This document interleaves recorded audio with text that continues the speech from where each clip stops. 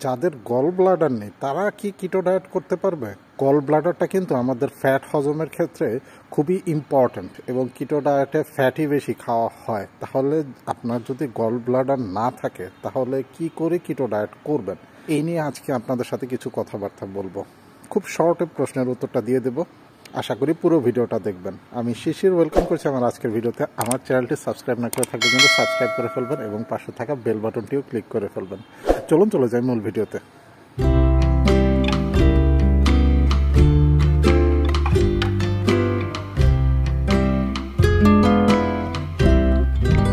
আসসালামু আলাইকুম, কেমন আছেন বন্ধুরা? আশা করি সবাই ভালো এবং সুস্থ আছেন। আমাদের মধ্যে যাদের গল ব্লাডার নেই, বিভিন্ন কারণে অপারেশনের মাধ্যমে ফেলে দেওয়া হয়, এই ধরনের যাদের গল ব্লাডার নেই, তারা কি করে কিটো ডায়েট করবে? এটা কিন্তু একটা প্রশ্ন আসে। গল ব্লাডারটা কিন্তু খুব ইম্পর্ট্যান্ট একটা জিনিস। আমাদের কিটো ডায়েটের ক্ষেত্রেও কিন্তু এটা খুব মোটামুটি গুরুত্বপূর্ণ একটা জিনিস। কারণ হচ্ছে গল ব্লাডারটা থেকে যেই রসটা বের হয়, যেটাকে পিত্ত রস বলে অথবা ইংরেজিতে বাইল বলে, এটাই কিন্তু আমাদের ফ্যাট হজম করতে খুব হেল্প করে। এবং আপনাদের যদি এটা ঠিকভাবে কাজ না করে আপনার কিন্তু ফ্যাট সলিবল যে সকল ভাইটামিনগুলো আছে, সেগুলো কিন্তু আপনি ঠিকভাবে গ্রহণ করতে পারবেন না আপনার শরীর।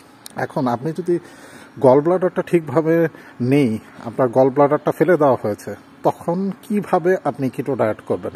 আপনাদের গল ব্লাডার না থাকলেও কিটো ডায়েট করা যাবে, কিন্তু এটা কিছু সাবধানতা অবলম্বন করা উচিত। কারণ গল ব্লাডারটা হচ্ছে এমন একটা জিনিস যেটা হচ্ছে যে সে কিন্তু গল ব্লাডার নিজে কিন্তু পিত্ত রসটা তৈরি করে না। গল ব্লাডারের যে পিত্ত রসটা আছে সেটা মূলত লিভার থেকে আসে। লিভারই এই রসটা তৈরি করে। অর্থাৎ আপনার গল ব্লাডার সেটা জমা থাকে এবং সেখান থেকে প্রয়োজনে ব্যবহার করা হয়।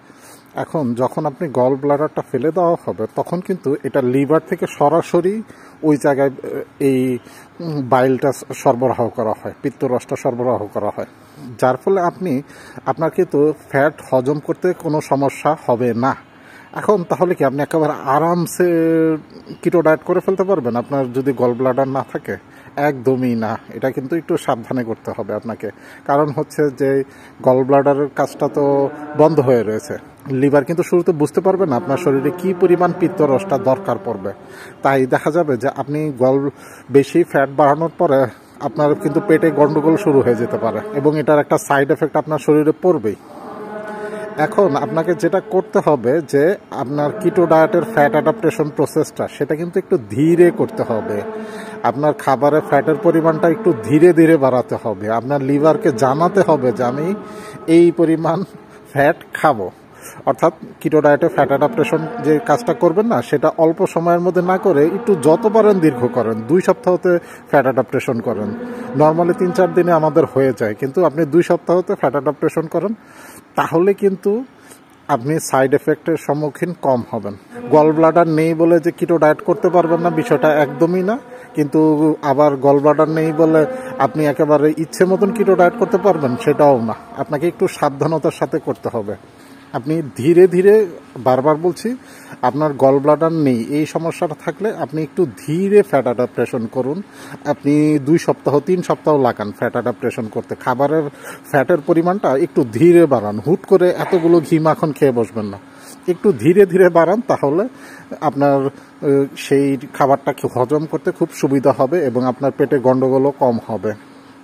বুঝতেই পারছেন যে আপনার ফ্যাট হজম করার যে মূল যে রসটা, সেটাই কিন্তু অন্য জায়গা থেকে সাপ্লাই হওয়া শুরু করেছে। সুতরাং আপনাকে একটু সাবধান হতে হবে। সবার ডায়েটিং খুব ভালো হোক, এই দোয়া করছি সবার জন্য।